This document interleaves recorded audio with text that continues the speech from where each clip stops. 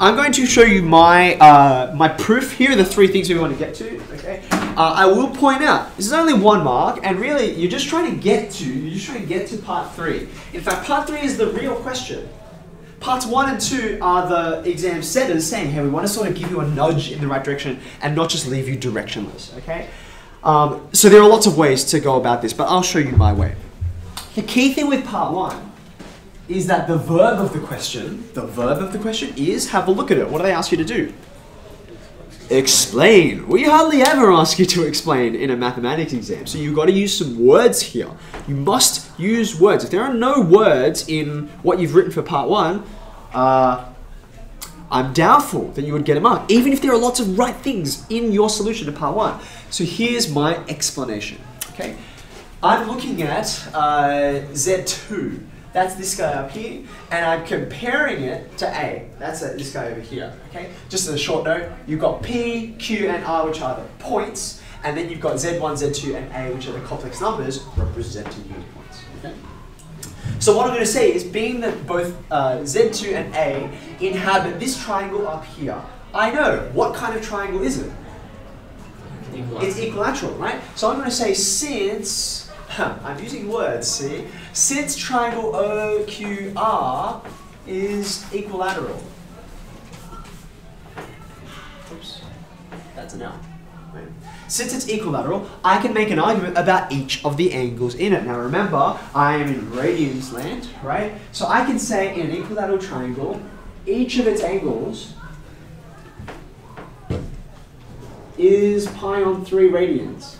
It's one of the nice things about using radians. Um, you don't have to think about 180, 60, 45, what is it? You just go pi divided by whatever you want it to be, okay? So the three angles, they all add up to pi, so pi on 3 each. Now if that is the case, then I can say that OQ, that vector, in fact I'm going to put an arrow on that just to give me a visual cue that I'm treating it as a vector, is the same as thinking as O about OR and rotating it in what direction? What direction am I going in? That way? That's anti-clockwise, right? Which is the positive direction. Is same as rotating OR anti-clockwise by pi on 3 radians. I just explained that, right? So therefore I can say, hence, uh, OQ, do you remember? What's the way that I indicate it's a vector and not just like a length? Arrow. Yeah, I have that arrow on the top, right? And it's O to Q rather than Q to O, because those are different vectors, right? Hence, OQ is formed by rotating which vector? Which vector am I basing it on? W. Uh, now, the vector I'm thinking about is OR, and I'm going to rotate that by pi on 3, which is where W is going to come in. Okay, so I'll get to W in a second. It's formed by rotating OR um, by pi on 3 anti-clockwise. That direction is really important, and in your explanation, you've got to say it.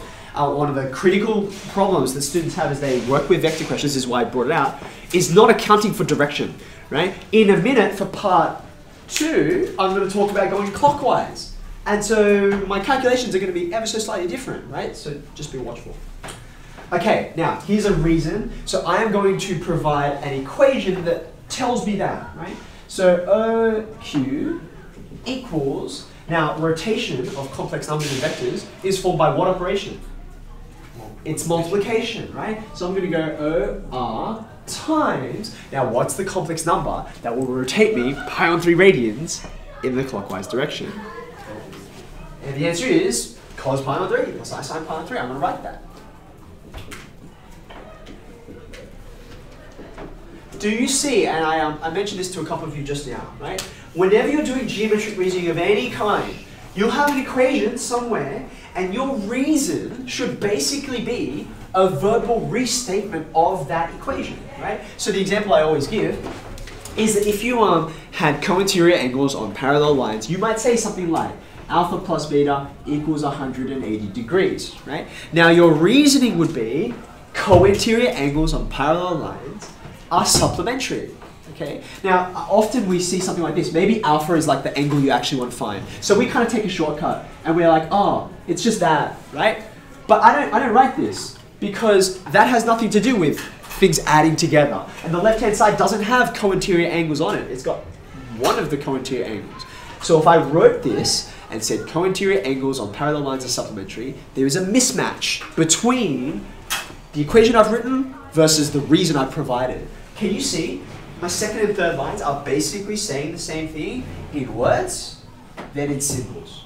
Do you see that? Does that make sense? So that's one of what makes um, the logic of it watertight. Okay, now I'm going to replace it with all, I'm pretty much done, right? This is the complex number Z2.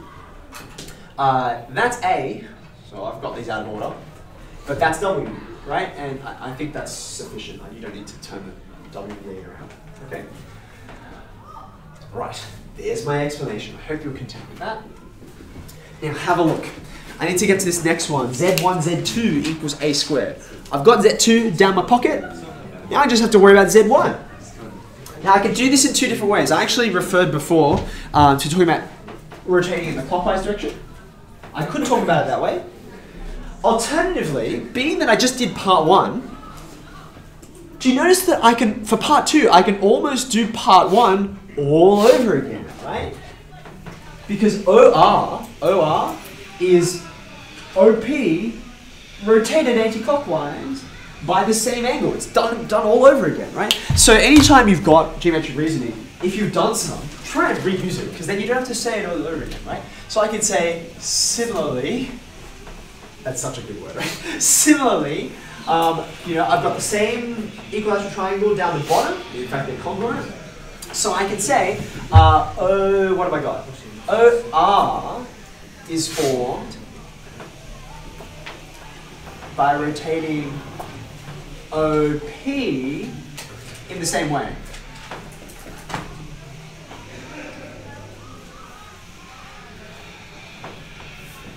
Okay? So, because I've kind of um, laid that point, I'm going to go straight to the complex number form. So the complex number representing OP, uh, OR, sorry, is A. So that's A over there.